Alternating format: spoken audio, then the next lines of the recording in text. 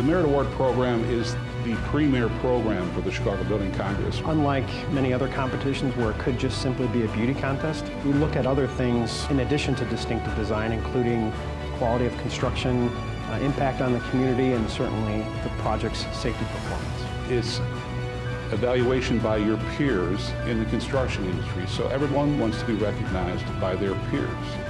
I think there's a reason that Chicago is a world-class city. It's because we have world-class architects, world-class builders, world-class subcontractors, and, and really world-class tradesmen too.